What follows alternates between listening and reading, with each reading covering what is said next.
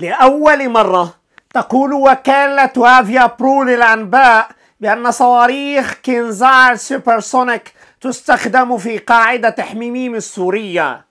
وهناك تأكيدات على هذا الاستخدام انطلاقا من الميج 31 كا كما يوضح الفيديو. ونشر الميج 31 كا الأكثر تحديثا يزعزع توازنات المنطقة خصوصا بعد استخدامها لكنزل والتي تدخل ضمن مناورة واسعة النطاق بعد توجيه حاملة للطائرات البريطانية كوين إليزابيث إلى أهداف حساسة داخل العراق وأيضا ضربت في سوريا.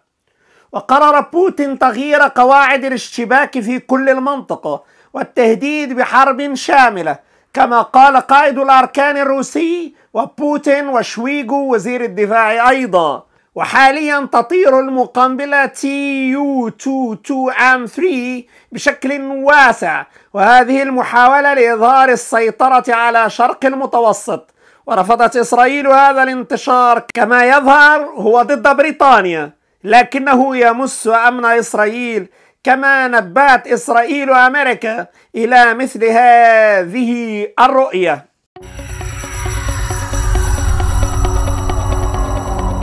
أسرار شرق أوسطية. اكشف فما خفي أعظم. مع عبد الحميد العوني. أهلا وسهلا بكم في حلقة جديدة من أسرار شرق أوسطية.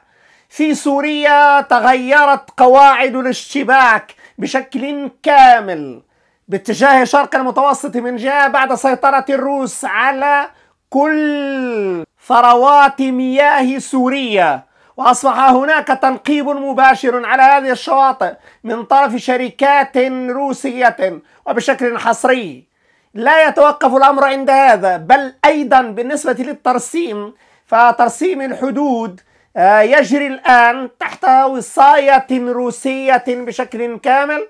مع إسرائيل توقفت قبل 15 يوم من ذهاب نتنياهو.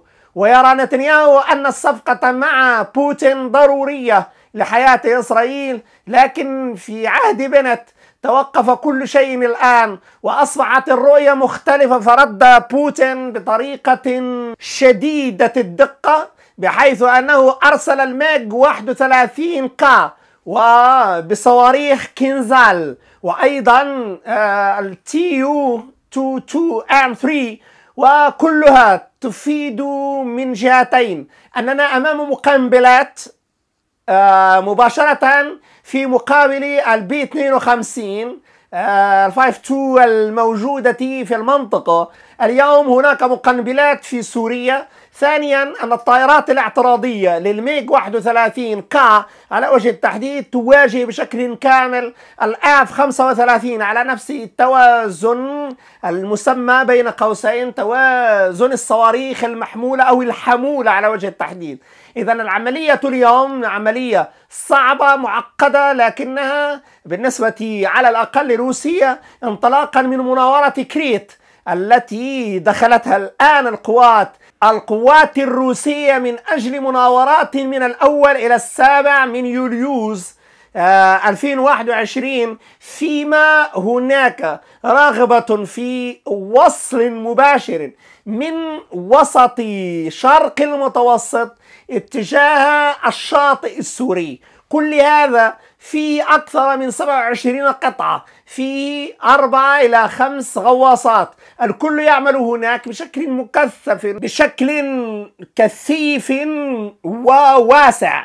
مشكلة أن شويغو وزير الدفاع بوتين الرئيس رئيس الأركان الروسي صرحوا جميعا وفي صباح واحد من مؤتمر آه، موسكو للأمن وجدنا تصريحا يتكرر على لسان شخصيات يقول بالحرف روسيا مستعدة لحرب واسعة من البلطيق إلى مرورا بالبحر الأبيض المتوسط وإلى الطرف الآخر من الأرض.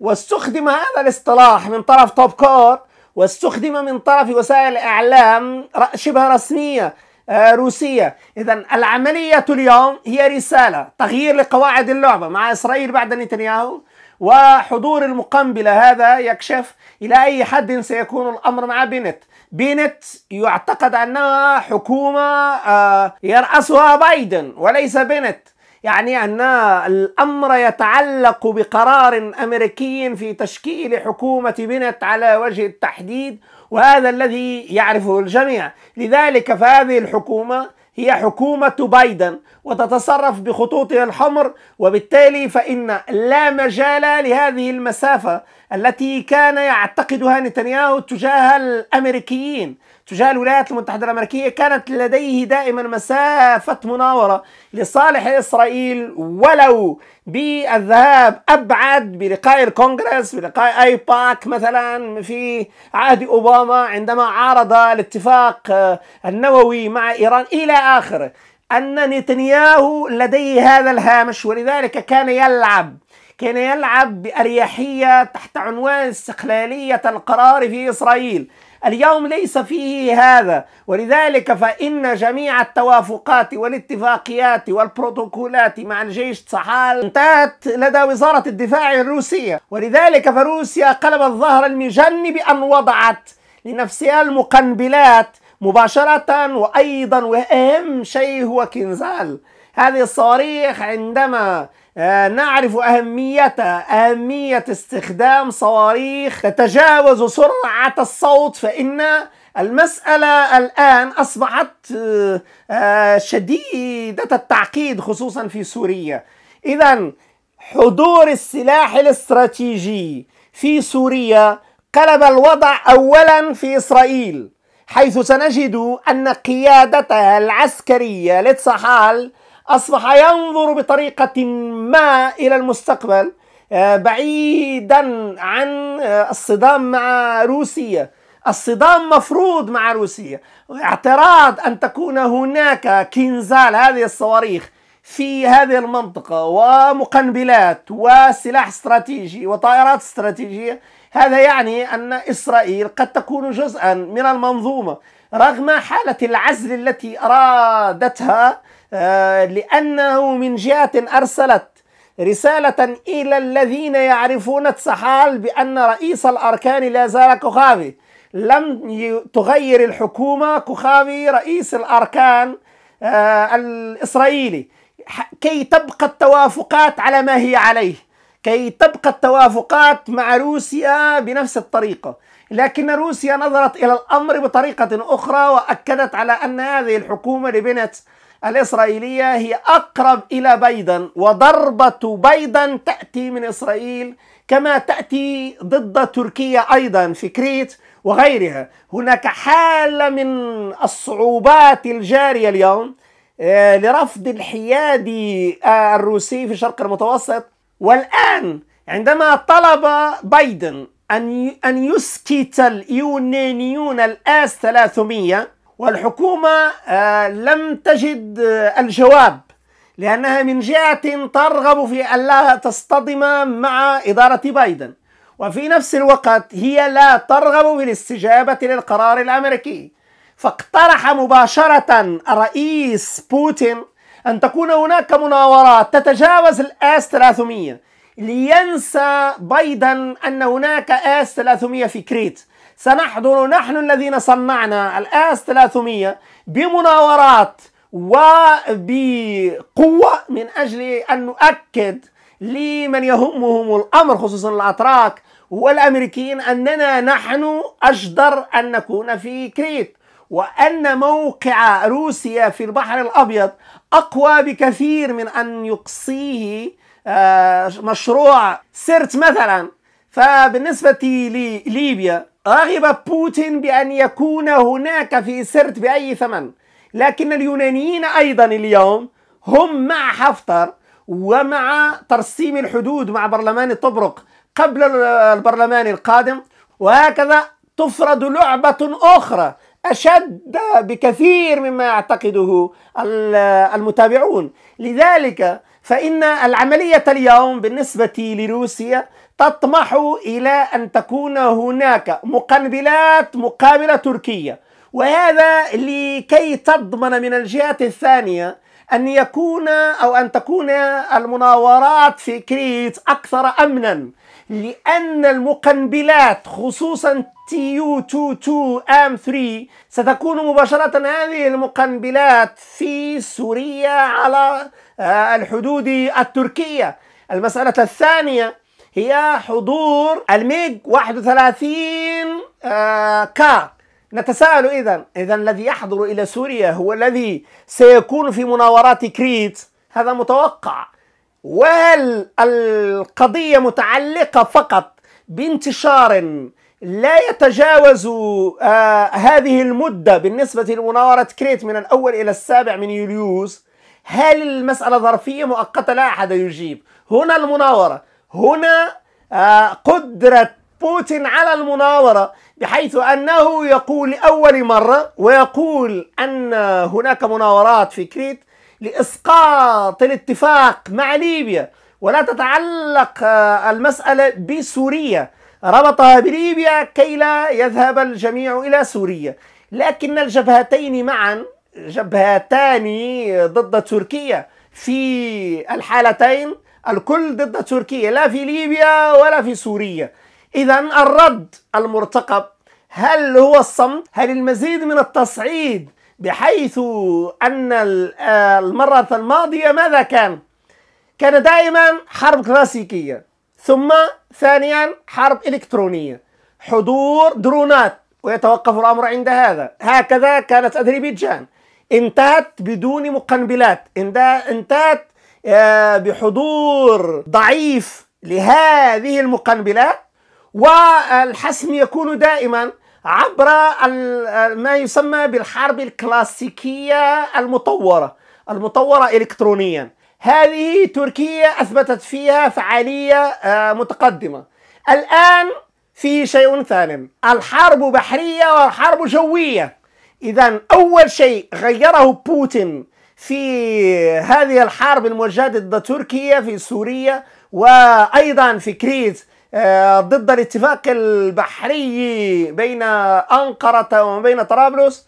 المسألة بالأساس حضور المقنبلة. المسألة جوية. ندرك جيدا أن الأتراك أسقطوا طائرة كما هو معلوم. هذه الطائرة التي يعتقد أنها ضربت الديفندر آه، البريطانية يعني السخوي 24 نفسها التي عمل بها الروس في بداية الحرب في سوريا. ولذلك فالمسألة أن هناك ما يسمى بسخوي 24 المطورة. إذا العملية هنا تسير بهذا الاتجاه لكن سوريا ستتغير. أولا آه، محاولة بنت استعادة الاتفاقيات أو تجاوزها آه، بين تل أبيب وبين آه، موسكو. اليوم في حسم. إما أن تسير الاتفاقيات التي مع نتنياهو أو يتغير كل شيء. بالنسبة لتركيا انتهت الحرب الكلاسيكية آه، والحرب الإلكترونية. العملية اليوم جوية. المقنبلات حضور المقنبلات بالأساس. وهنا يجب التعاطي مع شيء مركزي وأساسي. أن القدرة التركية لا تزال تحت التجريب بالنسبة للروس. الروس يحضرون الميج 31 كا لسبب رئيس هو أن أغلبها بالإضافة إلى كنزال وهذه الصواريخ فهناك آه، محاولة تجريب لنظام إلكتروني أو منظومة إلكترونية جديدة. هذه هذا هو السياق الذي يذهب إليه الآن الروس ويستطيع الآن الروسي أن يذهب بعيدا باتجاه الحرب الواسعة. هذه الحرب الواسعة ضد بريطانيا ضد الولايات المتحدة الأمريكية وخصوصا ضد بريطانيا. ولماذا اختيار بريطانيا على وجه التحديد؟ لأنها تريد أن تأخذ ما تبقى من النفوذ الذي أخذت منه تركيا البعض. اليوم تريد آه، بريطانيا أن تأخذ الشطر الآخر الذي لن تسمح به آه، روسيا. ولذلك فحدث اتفاق كما قلنا مع أوكرانيا ولذلك كانت هناك ديفندر في قلب المياه بالنسبة لجزيرة القرم وكان الرد كما هو كما هو معروف. لكن اليوم أين كوين؟ أين حاملة الطائرات؟ ب 18 آه، من الآف 35 هي في قلب الشواطئ السورية. إذا ليس الديفندر فقط آه، هناك في البحر الأسود. هناك حاملة الطائرات البريطانية في آه، المياه الإقليمية لسوريا ومن الضروري إحضار آه، بالنسبة لبوتين ليس لديه خيار. هنا المشكلة مع بريطانيا أن بريطانيا فرضت فرضت التحول. هي لم تقتنع دخلت إلى القرم لم تقتنع لا بمياه روسية ولا بعدمها ولا تزال المؤكد الذي نؤكده الأسرار الشرق الأوسطية المؤكد على أن البريطانيين لا زالوا إلى حدود هذه اللحظة. إلى حدود هذه اللحظة لا زالوا في قلب المياه مياه جزيرة القرم على اعتبار أنها مياه أوكرانية على كل حال. المسألة الثانية طيران الآف 35 فوق حميميم. طيران الآف 35 البريطانية هي لا تعترف بهذه القاعدة الأجنبية على أرض سوريا. ولذلك فهي طارت على هذه آه، القاعدة لمرتين. وهذا مستفز لبوتين. بوتين كان الكل لا يسعى إلى إثارته. البريطانيون يثيرون والهجوم الإنذاري هجوم مضاد إنذاري. اذا بريطانيا وروسيا دخلتا معا في أجواء غير مسبوقة من التصعيد. أما بالنسبة لسوريا يرى الجميع على أن هذه القاعدة التي لدى الأمريكيين هناك رغبة لدى الام آي 6 البريطانية. بالإم آي 6 الام آي 6 وال5 معا اتفقا يعني أن العملية اليوم بالنسبة لبريطانيا تهدد الأمن الداخلي والأمن الخارجي على حد سواء. ولذلك فالتقارير في هذه اللحظات آه، شديده الصعوبة هي أن الام آي 6 والام آي 5 الاثنان معا يتعاطيان مع نفس المعلومات من أجل تقدير الوضع في سائر العالم في, في الانتشار على وجه التحديد.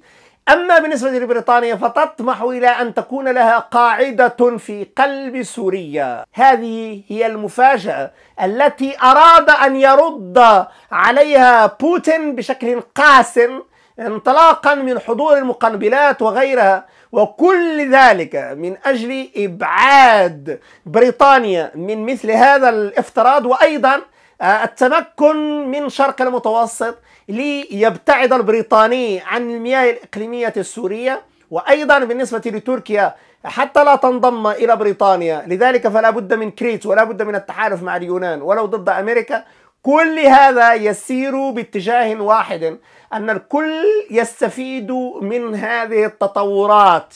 هنا يطرح السؤال بشكل مباشر. ماذا هناك بالنسبة للخطوة القادمة؟ بعد التيو 2 2 آم 3 وما بعد التيو 160 التي وصلت إلى غرب المتوسط وكل هذا أمام منظومة إلكترونية إلى حدود اللحظة تستخدم الجيل الثالث فقط وليس الجيل الرابع. شكرا جزيلا وإلى اللقاء.